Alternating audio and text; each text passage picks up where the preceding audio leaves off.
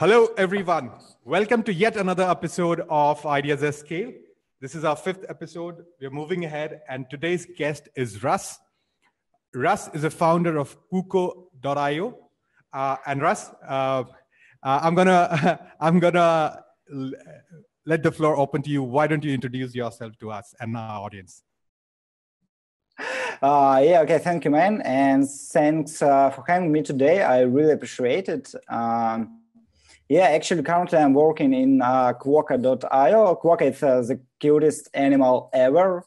Um, so yeah, but so far I'm marketer in marketing uh, for almost, I believe, eight years or so.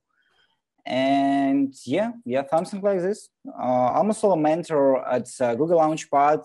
Um, I was running a mentor session with Startup Grind, with uh, Techstars, um, you know, what else? Brand ambassador branch, uh, branch metrics. So here I am. Great. So, Russ, uh, our uh, audience is largely really early stage uh, entrepreneurs um, and digital agency owner. And your background in marketing, you're really going to like juice out a lot of knowledge from there today. Uh, the first question normally is uh, directed towards the idea and how did you make from idea to a product, right? So our first question is, uh, what was your first idea when you decided, you know, to turn into a uh, entrepreneur and you know with a mm-hmm. very different lifestyle than you know what you could have as a normal job you know someone who does a job so what was that first idea when you said hey i want to turn into an entrepreneur i want to pick up and solve a problem yeah, it was a funny story to be honest. Uh, when I was 15, I worked at a surf shop, and one day I did a really huge sale, you know, and the equipment for surf and kite surf is a little bit pricey. Uh, but that, uh, but at the end of that month, uh, I got only additional like 100 bucks to my salary or so. And it's actually how I decided uh, I need to open my own shop uh, just to get all my all my money. And asked my friend uh, who was uh, in coding for a year or so to help me with this. Uh, he built an online shop uh, for us, and it's how we were starting actually. We didn't have money to make a direct order from manufacturers, uh, so I came to almost all shops in my country and not only in my country and asked them to run some kind of drop shipment. And to be honest, back to the days, uh, I even didn't give a shit. It was calling dropship model. Uh, so my offer uh, was super simple. I just told them like, uh, okay, I'm going to publish all your items, all your stuff uh, online on my uh, own shop. And when someone order it, I would buy this that product. That product. And we started actually, and was growing pretty good. we even opened a few services around this company in the same field. Uh, from something super simple and up to building quadricopters before even DJI was founded. Um, so yeah, but as age, uh, 18, uh, I was so tired from all this stuff, and I sold that company to competitors from from some Mickey Mouse money. uh, but yeah, it was my first product after all. Great. Now you have a unique distinction, uh, Russ, that you are a marketer turned uh, into a tech startup founder. Uh, how did you go about harnessing your uh, experience that would actually help you become a tech founder? I, I mean, I come from a non-tech background as well, and it took me a while to get used to, you know, how tech companies are run, what kind of processes are there, how do you hire all. How did you go about it? I think a lot of uh, people from non-tech uh, background have this, you know, like always have this question whether they will be able to do it or not. So, how did you solve that for yourself? You know, to be honest, it's uh, not something real huge. I mean, uh, if you came from a non-tech field, um, you just, I believe you just need some, uh, you know, like desire to change the world, or you need to find that point um, somewhere uh, how you can improve uh, some process, for example. Um, so I always love marketing. I love to help uh, people find the right solution to their pains. And at the same time, when you are an entrepreneur in tech industry, you have a lot of fails. And after I sold my first company, I was like, okay, I'm 18 and I just did it. The world is mine, you know. then I failed. I failed three times in a row. I spent all my money on products with different problems. Some of them didn't get product fits. Um, the rest of them didn't get market fit, etc. And it's like a first uh, lesson I learned. You need to move fast, and it's like the biggest, you know, like the biggest problem maybe in tech industry. You need to move as fast as possible. So um, marketing helps me to test and validate, validate my ideas uh, faster. And to be honest, it's uh, the second lesson I learned. Uh, find your passion because I figure out that being CEO or VP of marketing it's uh-huh. not my path exactly for now at least. And i love to do marketing by my hands and it's why i wake up every single day actually you know? At the end of the day it doesn't matter what you did but are you happy? Did you accomplish your goals and it's make you happy or not? It's, it's something like this. Yeah so so just to summarize it you it's more like if you if you know your passion if you know your love and you have a will you'll figure out how it has to be done right something like that yeah and yeah, yeah, and it's exactly the same stuff with even non-technical uh, projects. Because again, if you if you would like to open, I know, small cozy shop somewhere in the city, do it. If it's if it's real what you want to build, just do it. Perfect. That's that's such a great answer. I think I also agree to that. Now, so okay, so you had an idea, you made a product. The next question is, can you tell something about the first sales that you ever made? Uh, and now, when you look back, when you look back so long, you started really early when you were 18. Uh, how would you have done it differently, or would you at all do it differently? Like you know, with all the wealth of knowledge that you have now. So, your first sale, how did that happen, and would you like to change it at all? Uh, yeah, definitely. I think if you turn around right now and you have no clue what you can do in a better way than before, it means you didn't grow maybe as an expert or marketer or sales or whatever. Uh, so my first uh, sales was super ugly. I mean, I just did everything that I can that I can to get first money. I leave a lot of comments in forums, groups, and social media, uh, etc. Now we can call it guerrilla marketing, but let's face the truth, it sucks. uh, so uh, now, for example, when I'm trying or when I'm launching new product, uh, it's um, like step by step stuff I do all the time. I'm going to beta list, I'm going to pro account, partner news, etc. to get first clients. And I'm too lazy, so I love marketing and sales automation. and I'm always trying to build the growth machine which can work on autopilot. yeah, I, I, I think I, I said big time during my first sales as well. I thought that I'll never do say uh, I'll never do a pitch again in life, but here I am. I'm doing again and again. Now, before, so I think um, uh, Russ, the um, since I, I've also spent a lot of time in marketing. What I've seen is, you know, you can make a lot of products, but until you find a perfect channel fit, you know, it's not just product market, but it's product market and channel fit how do you normally go about finding that for your product? Because you have all all three you know you've figured it out a few times. How do you go about finding your product market and a channel fit? Uh, yeah it's uh, it's pretty awesome question but um, you know uh, i'm always building companies like for myself. I have some pain for example it's uh, how i came up with the uh, idea of quokka yeah because i did it manually uh, on my previous job got like 77% open rate and i was like wow crap i, I spent like uh, a few hours and i get i saw awesome some amazing result. Okay we need to build a product.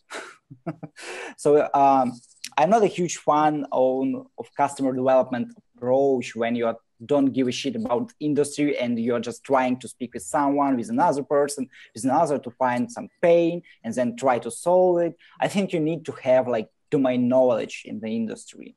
And quite actually it's an amazing question because of, uh, from uh, first time when i have like had like zero budget marketing i came to paid uh, ads and it works when you have some common business model like i know an online shop, for example. But when you're building startup, you have like 1,000 ways to spend that money in a more effective way.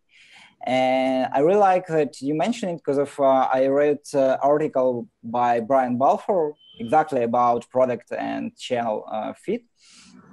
And uh, I'm maybe in line with him on 1000 percent because yeah if you have like for example you're tr- trying to charge nine dollars per month i don't think that uh, facebook pay per click advertising will work for you yeah it's it's the point when you need to find another channels uh, cheaper uh, I know maybe referral marketing or so content marketing or something like this.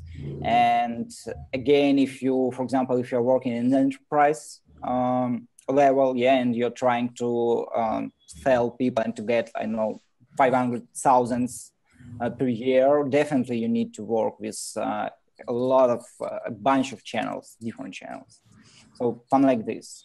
Okay. And, and do you have any framework? I know you've shared with us. Is it, uh, do you have any framework that you normally follow and that our users can, you know, our community can also use in terms of finding this fit for you? Should I share the slide that that we had? Yeah, yeah. Go ahead. I'll just just give me one second, maybe. Mm-hmm. Yeah, actually, uh, yeah, that's this is. Uh, yeah, I have two of them. Uh, one uh, one of them is about um, like product startup company. Yeah. Uh, so first one is about business, and I I spoke with Allan Grant, uh, who's a founder at uh, Hired and Talkable, and he mentioned one thing like first you get the people, then you get the traction, and then you get the money. Uh, it means that you need to find the right people before you're thinking to run a startup because it's super critical for you as an early stage company, and it's what I I understand understood um, not so far um, not so much not so much time uh, ago. Yeah because uh, it's real super hard. When you're working for example on i know on any full-time job from nine to five um, super you have like almost zero risk uh, and it doesn't work in startup so it's super critical again um, traction is something that depends on your product. If you can do sales without product, don't even hire developers. It can literally kill you. I'm dead seriously. Uh, sometimes, of course, you're working on complex software, you know, and I would suggest to sell it uh, maybe as an outsource. Just reach companies or people who might be interested in solving this problem and tell them um, you can build something amazing for them, but charge them upfront. It's it, again, it's super important because of uh, it's like. Um, what I'm doing every time. Uh, for my first company, I spent like five or six months to build a product. For my next one, I spent like three months. For the next one, I spent one month, uh, and I believe for for the future one, I will spend I don't know maybe one week or one day, just to just to validate idea. Uh, in other cases, try to avoid building something and try to do maybe manual MVP. Meaning, if you can do something uh, by hands and take money, do it. Don't build another product and yeah, don't, don't wait to some luck, maybe. Uh, another model I have it's about launching your product. There are several channels of uh, clients or users which are super awesome for the first day of your company life. It's like the common problem. Um, for everyone like yeah i spent some money to build a product to hire developers uh, to do to do x y z uh, and now i don't have money for marketing well what what should i do uh, i need to i know get an investment or something like this it sucks because of uh, you can get uh, your first clients almost for free because uh, in marketing you have one super simple rule. You can um, pay by your time or by your money yeah? And in case you don't have a lot of time a lot of money obviously uh, your option is to spend some uh, time. And uh, what i usually do it's um, running customer development process. You can find like 40 50 people who will get to the last stage of this process with you meaning you you're trying to validate the problems and you run some UX, uh, UX uh, interview to test your solution. Yeah. And then you are trying to charge them money. So it's like first 40 customers, for example. Then you can publish a product on beta list. Depends again on product. You can get uh, something from 50 sign up up to 500 sign ups uh, in average. Uh, then you can go to product hunt. Uh, again, uh, for example, we got in Quokka, we did two launches on Product Hunt, and we got almost uh, 1,500 signups and a lot of a lot of customers. So then you can go to Quora and answer all related questions. Then you go to Reddit, Facebook groups, and contribute to the community. And then you can write, run outreach system with LinkedIn, with, for example, using Dux-Soup uh, to automate this. Uh, you can run partnership deals with other companies and services. Uh, you can go ahead with content marketing and content promotion. You can jump to AppSumo or SaaS Mantra if you find it's a good idea for you. And only then you can just try to scale it with uh, pay-per-click advertising, for example. I bet you will get much more than 100 customers for less than a few months if you if you do if you do this. Uh-huh. Okay, so just to summarize again, so I think don't wait too long to uh, go to market.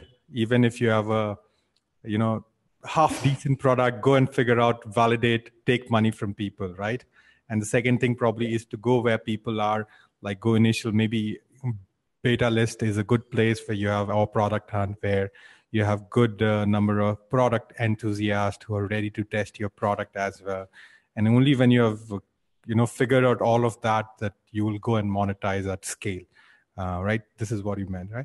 So russ yeah. i have another question. Now like a lot of people want to go to product hunt. Even we do want to launch it but haven't been able to do as yet. But so i just wanted like how has your experience been with product hunt? What would you recommend there? You know going to beta list what kind of beta list what kind of user you get there? You know because I've, I've we've been on beta list and we see like these people are not really uh, you're paying you know you won't be able to make money but they'll test out a lot of your you know bugs and report that to you uh, product hunt maybe a little bit more. I just wanted to ask about the experience. How did you go about planning and how did it eventually turned out for you? Mm-hmm.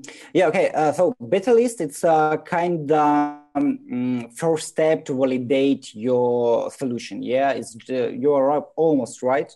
Uh, it's just about some kind of qa yeah and to find all bugs you might have at this stage uh, product hunt is another story because of uh, it's about validate your product actually. Because the product hunt uh, can drive you real users and real customers. But uh, yeah the overall behavior of people uh, from these uh, you know sources it's not your ideal customer. Definitely it's not your ideal customer. But um, just a first step you know? And in case it's like will cost you zero uh, why why not to do this? Why why you should pay uh, some money to test your app or website? Why you need to pay some money to Facebook in case um, you don't know um, your conversion rate, for example. Uh, actually, it's uh, what I figure out by spending tons of uh, money on paid ads that it's super low ROI at the beginning because of, for example why the hell you're driving traffic to pages that don't convert right? And it's i came up with a common idea. You should think uh, you should um, do things which doesn't scale first of all. And you should go again to reddit to quora to communities and blah blah blah blah blah but uh, it will cost you almost 0 mm-hmm. and drives first sales. Yeah of course. Now again now, one question for me is you know especially in saas business what happens is the product sales and marketing is very tightly knit right? They mm-hmm. work almost together. Uh, if your product on, onboarding is not right then probably the sales won't go up. If your marketing is again not targeting the right person again the sales won't go up.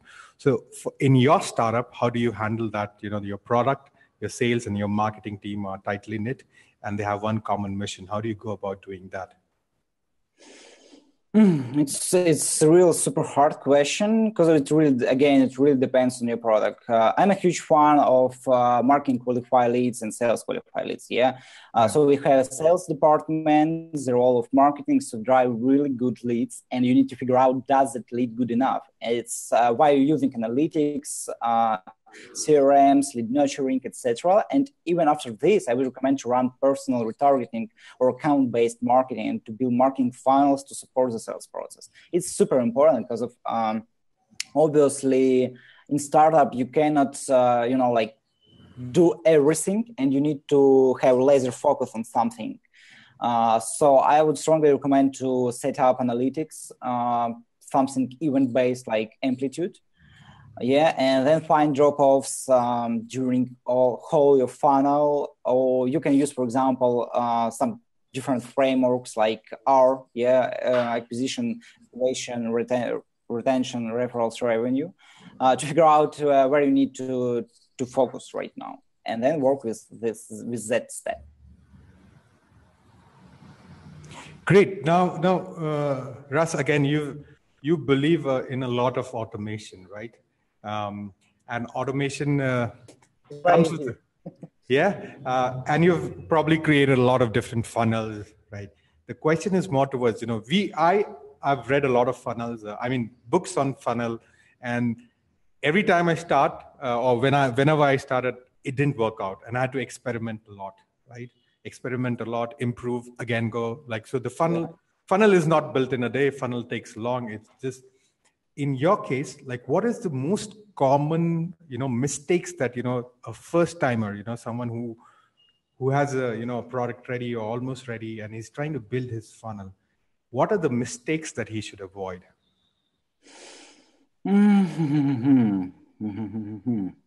You know um, with funnels there are two types of marketers one of them just giving a direct call to action to call audience, and obviously their LTV is much lower than it might be. And others are trying to build super complicated funnels, and again, they get uh, super low ROI. The magic here is uh, to create exactly so many steps during your funnel as you need, and you can only real test it again and again and again. Because of uh, try to start with direct uh, call to action. Doesn't work? Add one more step. Yes, some kind of lead nurturing uh, doesn't work, add another step, repeat it again and again, and you get it right. So it's it's real problem, uh, and it's, yeah, it's really like continuous project. Project. You can do this uh, in one hour or even in one day or even in one year because obviously your company is growing. You add new features, new solutions, and you need to like redesign your funnels uh, every time every time. Um, so you need to build a funnel. You need to collect data, figure out where and why people are stuck at some point, and with marketing, design, and sales, uh, fix those problems. It's what I can call funnel. Actually, for example, I will build a map of uh, my website or app where where I put all steps user need to do. Uh, from the left side of um, it's like you know um, showing Facebook ads, going to landing page, going to sign up page, and so on and so on. And from the left side of this map, I put all ideas why people are still on my app but didn't perform uh, actions or didn't get to the next step. On the right side, I do the same for people who left my app. And then I think what's uh, what is their behavior? Turn like how can I turn these ideas into triggers and build marketing activities? And actually it works but again it's um, as a huge fan of automation i usually step like three five seven hundreds triggers to change flow uh, of my marketing uh, on the go. Great. I, I really like the answer. Like uh, something that i've also made a mistake is the first time i started i made a made a huge long funnel right? I probably took a week and not just that I, it took me another week to actually implement that funnel and test it out. Yeah so you know now when i i want you know i have uh, read stuff about people saying unlimited automation i mean unlimited uh, levels of automation. Actually you want to like start really simple with some basic assumption. Yeah. Find the bottlenecks in each of the step and actually target there. That bottleneck you got to solve right? And your process yeah. is in that case for you is that you have a right side and a left side. The right side is towards people who have converted you try to imagine what has probably went right for them. And on the left side you have the people who didn't click or who didn't convert and what went wrong for them and then reimagine yourself. That's how yeah yeah. Lovely. Yeah, I, I, love that. i'm going to use that uh, russ. Now the next question is you've you've kind of helped like what 30 40 odd uh, companies in in doing their launches. Uh, how do you go about you know as a as a freelancer you know because a lot of freelancing communities here how do you go about deciding this is the project that I need to pick mm-hmm. up, or this is something exciting for me? Yeah, exactly. The number is uh, like close to 40. And, wow. you know, um, at the beginning, I take almost all products. But then I start looking for something very cool inside. It might be like a story behind the product or founders or the experience or the problem maybe they are trying to solve. And I worked only one time with the product and didn't believe, and it sucks. it really sucks. And after that time, I was uh, like, you know, angel investor because I'm trying to find a real value and like make a real hard due diligence process. I'm trying to know all details. It's um, yeah, it's it's it's real super hard because uh, I love products which have uh, some something real big behind them. It can be pain story again, some, something really big, something that can uh, help me to believe in their success. Success. And Russ, uh, for me, I've been a VC as well. What I, you know, um, my boss used to tell me that he really used to look out look at the team, you know, how the team works together. Probably I didn't understand it then, but now I understand as a startup founder what is the importance of team. So in your success or in your story, how important have been people around you? You know, how how much would you say, you know, like had these people not been around me, I wouldn't have been, you know, what wherever I am, you know, big, small, doesn't matter. But the stage that where you reached, how important and how do you go about, you know, like finding the right set of people for your startup? and it's like one billion percent true because uh, um, again as a young company uh, of course obviously you can hire someone or find someone with a huge experience.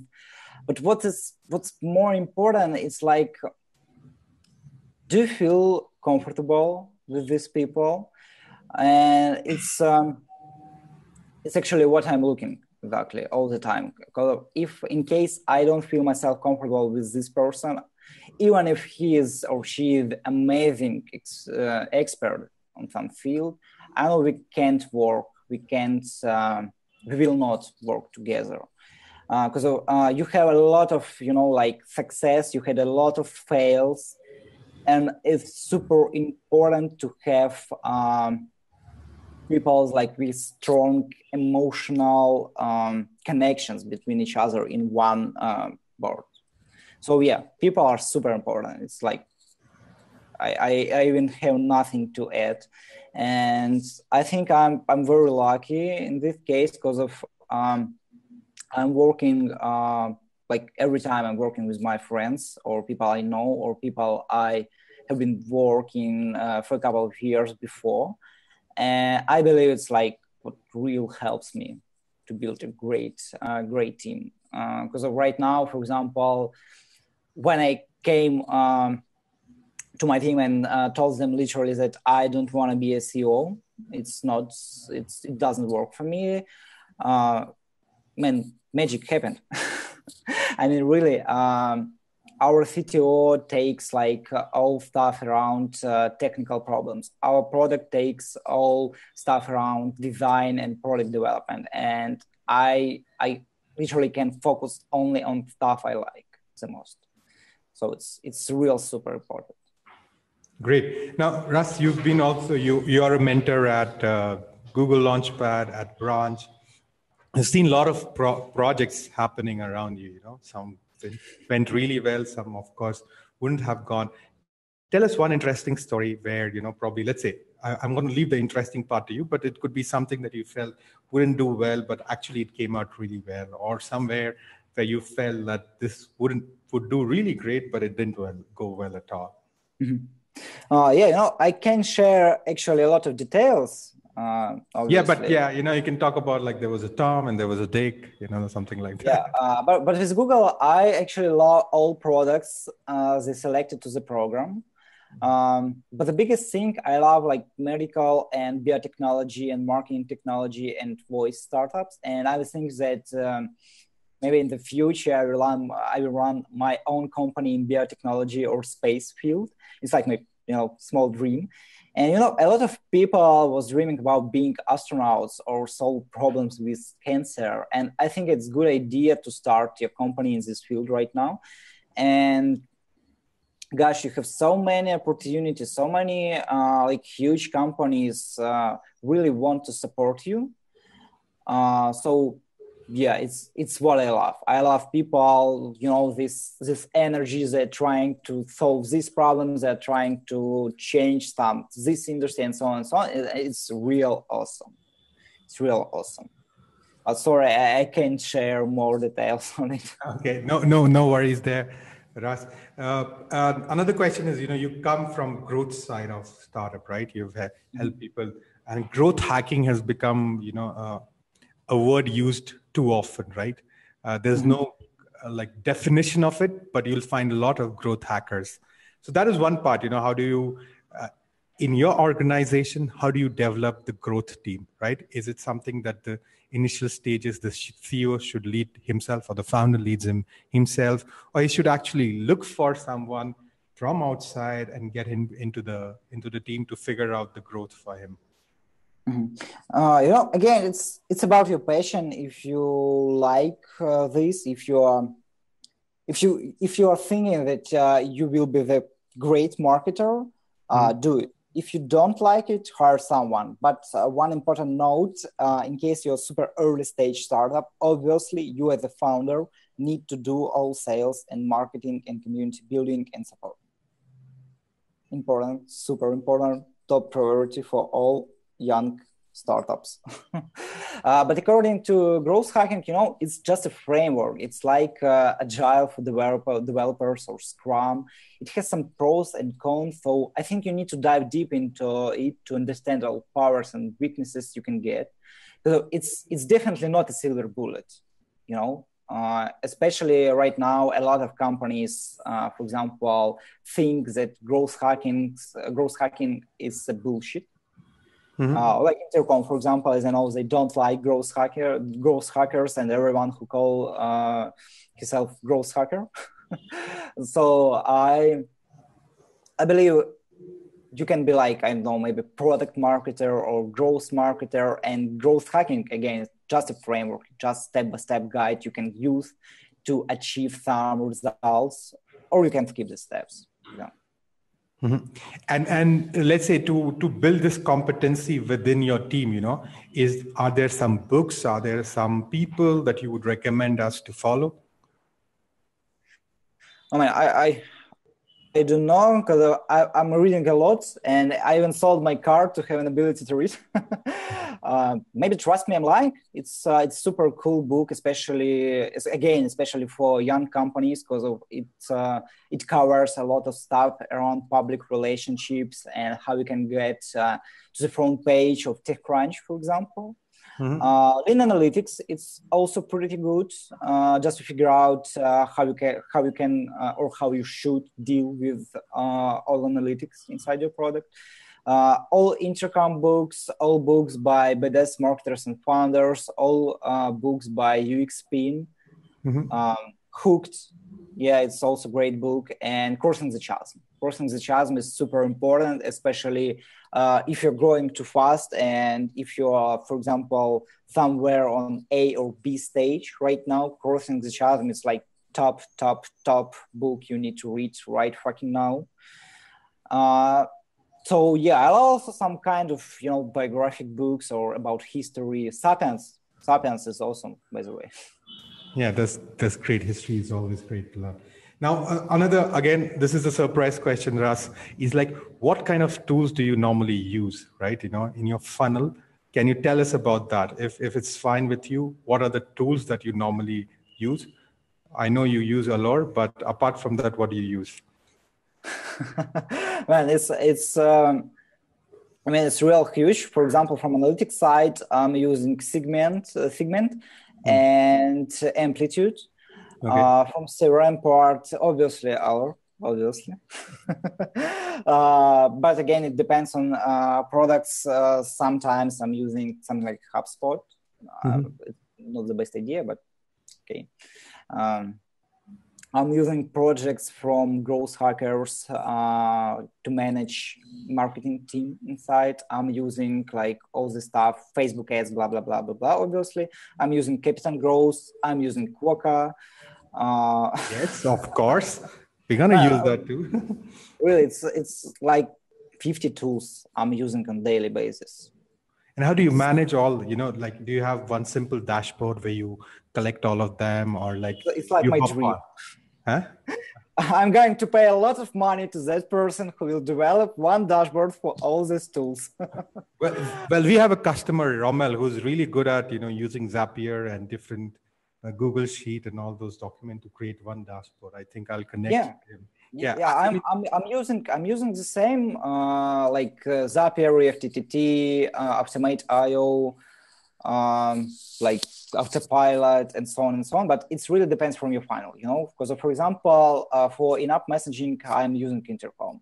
Uh, hmm. for some drip campaigns some email sequences i'm using um, drip actually. Mm-hmm. um, so yeah. A lot of them. Yeah yeah that, that's good that's good. Okay. Now again uh, i will that's uh, almost my last question now is uh, you know you move across different uh, of course different stages of company different projects.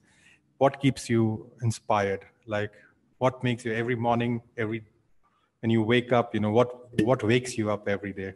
How do you keep your inspiration live mm-hmm. you know i follow a lot of people in the industry and trying to jump on call with them like every week uh, I love Behance and growth hackers to find something really new, something fresh. Uh, but it's like the third lesson I learned. You need to find inspiration inside yourself because of all stuff outside, like people, companies, money, cars.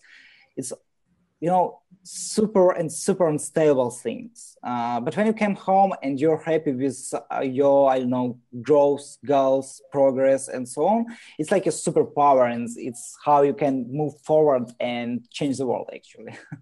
At least your your own world. So i believe the real inspiration is always about things in your heads in your minds. And yeah something like this yeah, yeah, I, I agree. It's those intangible that actually keeps you alive. Uh, Deepika, do you have any questions from audience? Can we ask uh, Russ about this question? Yeah, sure. Yeah. So Bradley from Germany, he's asking about the use of black hat tactics in um, tech marketing. So what are you views on that? uh, come on, I'm from Google. I can't answer on this question. okay. Uh, I did okay, it before. I did it before.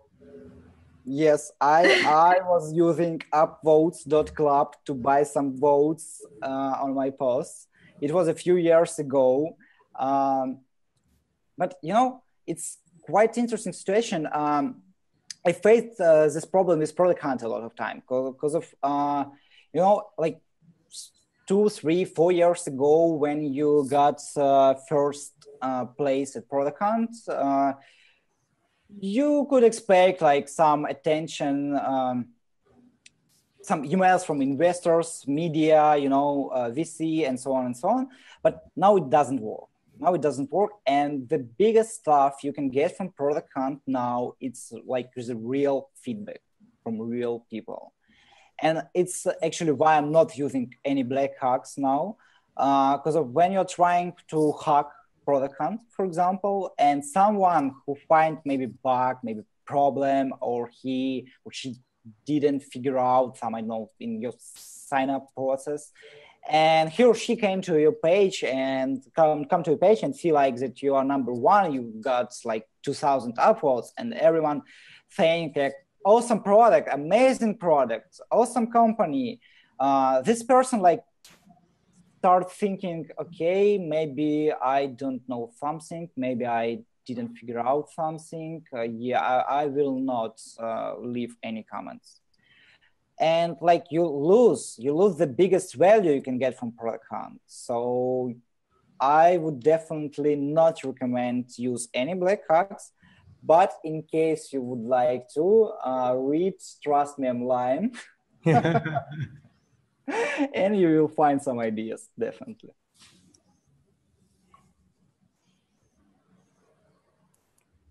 Um, I have one more question. So Eugenia, she wants to know that uh, when you're uh, discuss, like you know, you're a Google mentor. So when you're talking about uh, you know getting new projects or you know integrating with companies or you know co- cooperations, how do you decide that? Like, is there a criteria?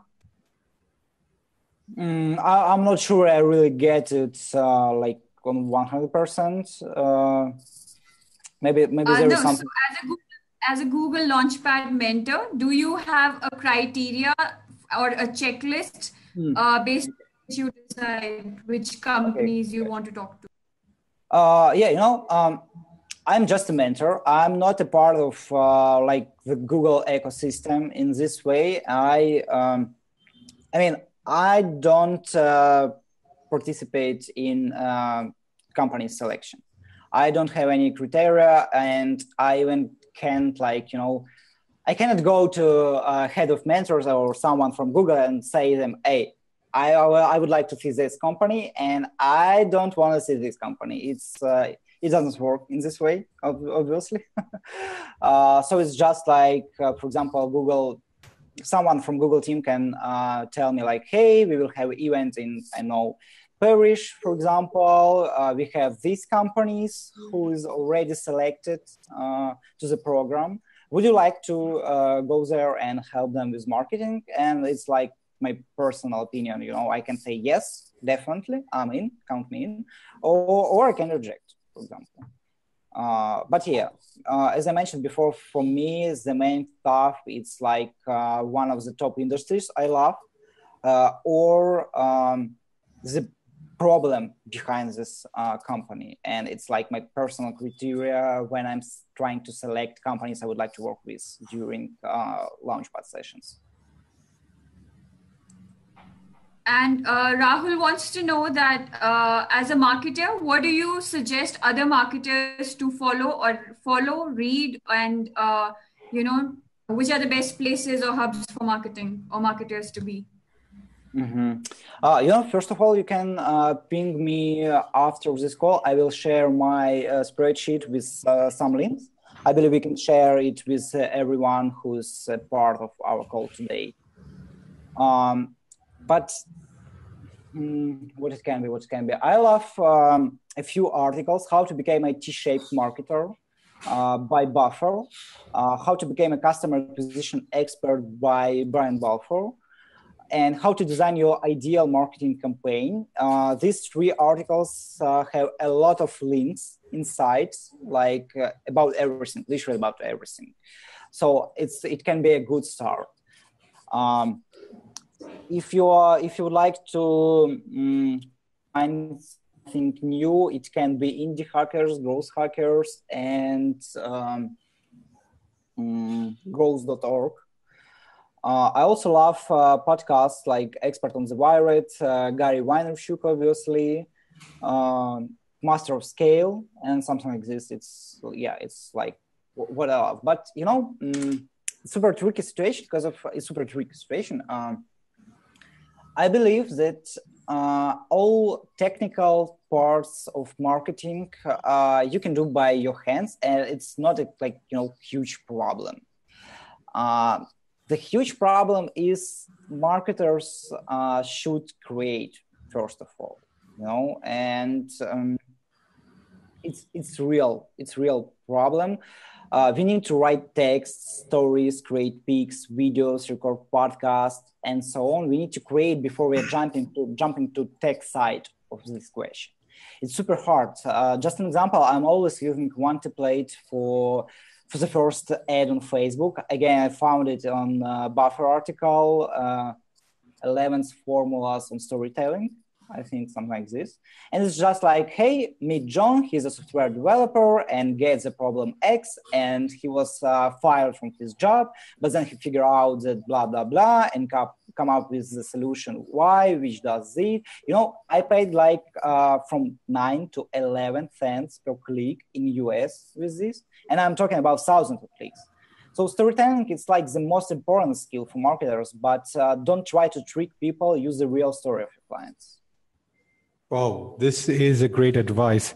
At the end, it's all about story. You can use different, you know, tech just helps you actually reach out to people. But if yeah. you don't have a great story to tell to people, they won't really buy into your story, right? Yeah, and it, it, you know, it's uh, super interesting because, for example, when you are doing all marketing step by step, when you uh, run some customer development process and figure out pain points when you have a story to share when you have a story uh, you know like to show how uh, all other people can solve this problem. Uh, all technical uh, questions like how to set up pixels how to start facebook pixels on your site it's like just regular problem and you can solve it i know for 15 minutes or for five bucks. It doesn't problem actually at all. Yeah, that's not really a differentiator, right? If if you use a tool or if you use Facebook Pixel, it, it doesn't really uh, give you advantage or an edge, right? Yeah, and it's it's uh, it doesn't give you value, and it doesn't give value for customers. Mm-hmm. Great. Yes, I think uh, we've just we've almost reached our 50 minutes. we just have one last question. There's a okay. college kid attending the webinar and he wants to know how can college kids become growth hackers maybe we oh. can just take one, one. Again uh, first of all i would strongly recommend to follow the, uh, the, the three articles how to become a t-shaped marketer and how to become a customer acquisition expert to start with uh, actually if you have an ability you can join the team uh, running by dennis yu because of uh, it's like the best Facebook uh, marketer ever and ever and ever. He spent over one billion on Facebook ads, so he knows literally everything. And um, as I know, he he hire uh, college students uh, and teach them, and so yeah, I I believe it's a good idea. Uh, so yeah, it's like uh, first steps. Uh, you you can you can use right now. And um, I was talking with a growth marketer from Clearbit a few days ago, and actually we were talking also about uh, like education, how you can find you know like new knowledge, how you can teach or learn something. And he answered uh, that at the beginning of his uh, career, uh, he took uh, like uh, every contract he can he he was working like 10 12 hours per day just to just to learn something new just to run some experiments and yeah just to get some um, experience at this field great deepika are you done okay perfect Russ, thank you so much. I I had a few big takeaways. Storytelling is really important keep your funnel simple, focus on data. Uh, don't wait for your product to be, you know, like make a, don't make a massive pro- product and then go into the market. I completely agree. I've done that mistake as well. Um, so these are the big four lessons I think everyone should, you know, I hope and, yeah. But one more and uh, try to learn something new every fucking day because of uh, in case at the end of the day you uh, don't have an answer um, to question like what i learned today from my clients you will lose definitely perfect that's that's amazing so big five learnings for me thank you russ uh, i'll keep in touch with you uh, we've added you to the group uh, we'll just request if anyone has any question he'll probably we'll ask you on the group to take your time yeah, yeah. Uh, i mean i mean thank you again for having me and take care man keep growing yeah, cool. Thanks. Thanks. Yeah. Thanks, Russell. Thanks. Bye, everyone. Bye. See you soon. Bye bye. Bye bye.